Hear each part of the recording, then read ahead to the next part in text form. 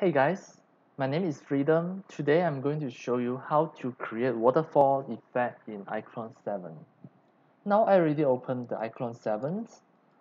First, what I need to do is to click the content and click this symbol.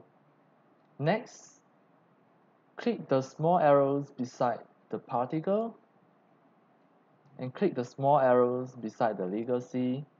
Now you can see a folder that is named water.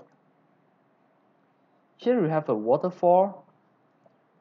So if you want to create a waterfall effect at this area, you just need to drag the waterfall into that area.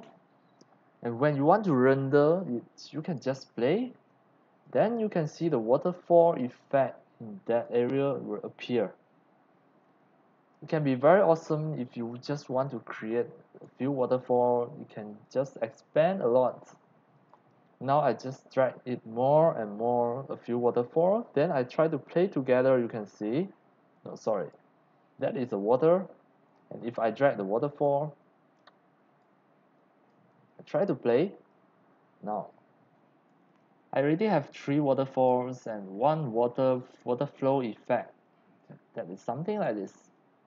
So if you already create your scene you already have your environments then you can just add in the particle effect of the water flow and the waterfall. That's all for today. Thank you for watching. If you love my video tutorial, if you feel all these video tutorial are very helpful to your 3D animation, you can subscribe to my YouTube channel and also at the same time turn on the mini bell and select all so that when next time I publish a new video tutorial, you receive the notification immediately. See you in my next video. Happy animation, enjoy and have fun.